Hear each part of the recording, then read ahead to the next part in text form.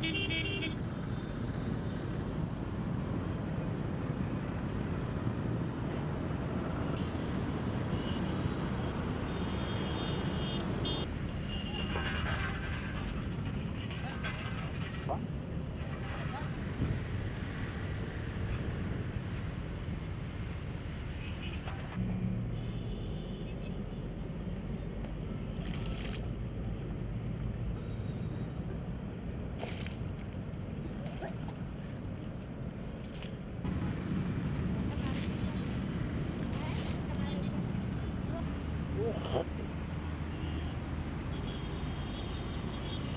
Uh, the Coimbatore Corporation has uh, started this process of strengthening uh, the lake bunds by a technology uh, revetment that is uh, revetment technology to strengthen the tank uh, bunds.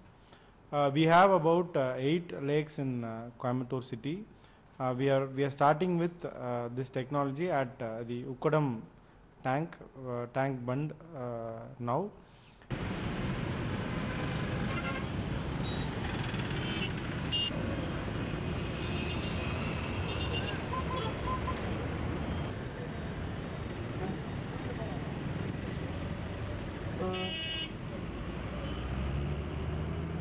This technology uh, is by using the geofabric.